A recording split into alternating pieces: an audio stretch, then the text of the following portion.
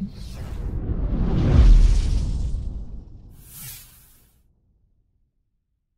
الله الرحمن الرحيم. السلام عليكم ورحمة الله وبركاته وأهلا بكم في هذا البث المباشر الجديد للتعليق على هذا الخبر من موقع قناة العربية السعودية. رأيت هذا الخبر منذ قليل على موقع قناة العربية السعودية وطبعا ضروري جدا نؤكد أن هذه قناة سعودية على الرغم من أنها تبث من دبي لكن هذه قناة سعودية هذا كلام معروف. عنوان الخبر داعية متطرف يعتذر للماليزيين عن تصريحات أثارت الجدل. هذا الخبر أنا صعقت عندما رأيته على قناة العربية للسبب الذي سيذكر لاحقا. وأنا كتبت عنوان هذا الفيديو قناة العربية تتهم الملك سلمان بدعم التطرف لأن هذا الخبر معناه أن الملك سلمان يكرم المتطرفين. الخبر يقول اعتذر الداعية الهندي المتطرف ذاكر نايك يوم الثلاثاء عن تصريحات حساسة أدلى بها في ماليزيا وذلك بعد يوم من استجواب الشرطة له بسببها. والداعية الهندي شخصية مثيرة للجدل ويواجه اتهامات تتعلق بغسل الأموال وخطاب الكراهية في الهند وقد واجه انتقادات بسبب تصريحات أثارت ضغائن بين الأقليات العرقية والدينية في ماليزيا والأغلبية المسلمة بها. هذا الفيديو ليس لمناقشة أن ذاكر نايك متطرف أم معتدل.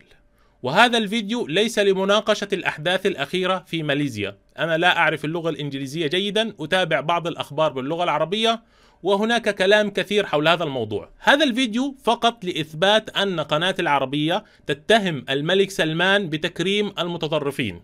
قناة العربية هي القناة الوحيدة التي كتبت هذا العنوان.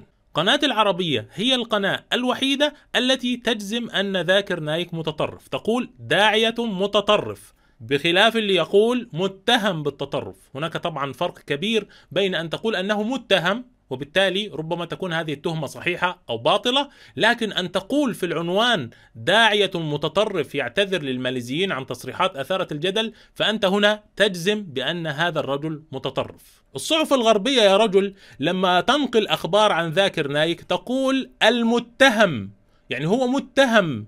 لما تقول داعية متطرف أنت تثبت هذه التهمة التي طبعا هي تهمة هندية لإيقاف نشاط هذا الرجل لأنه له نشاطات كثيرة في الدعوة وتسبب في إسلام الآلاف إن لم يكن يعني لا أريد أن أقول رقم مبالغ فيه لكن هذا الرجل له الكثير من اللقاءات في الدول وأسلم على يديه الكثير على الهواء مباشرة والفيديوهات موجودة على اليوتيوب. لما قناة العربية تقول داعية متطرف ثم نرى هذه الصور للملك سلمان وهو يكرم نفس الشخص الذي تقول عنه متطرف فاعلم أن قناة العربية تتهم الملك سلمان بالتطرف. هذه الصور ليست قديمة هذه الصور في عام 2015 هذه الصور بعد أن اتهمت الهند ذاكر نايك بهذه الاتهامات وهذه الصور معروف للجميع أن السعودية تدعم الدكتور ذاكر نايك منذ فترة طويلة. وفي فيديو في القناة كنت أتحدث عن موضوع منع الدكتور ذاكر من العمرة.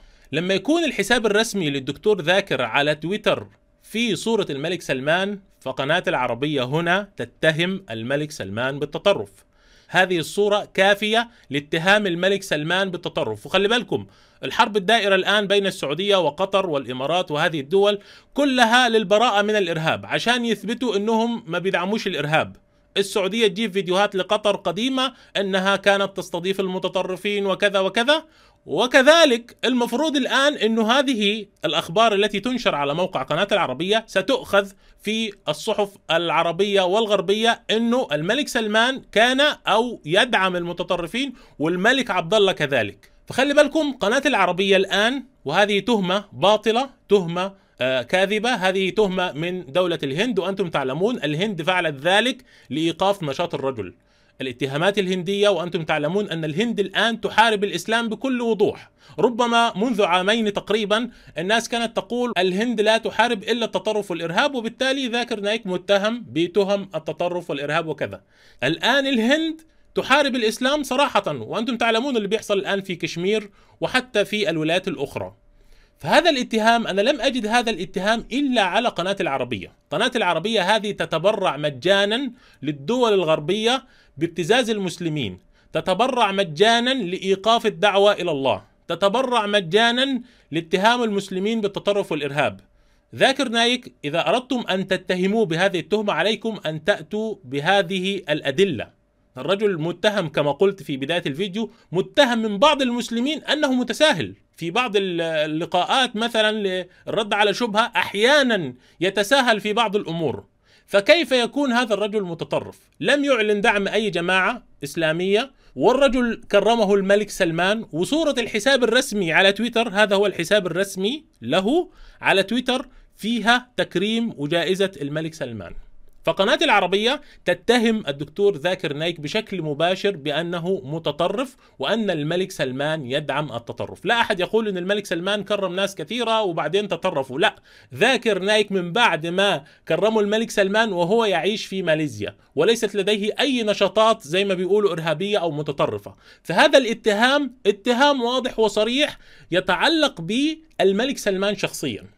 فهل ستبقي قناة العربية على هذه العناوين أم سنرى أن قناة العربية ستحذف هذه الأخبار؟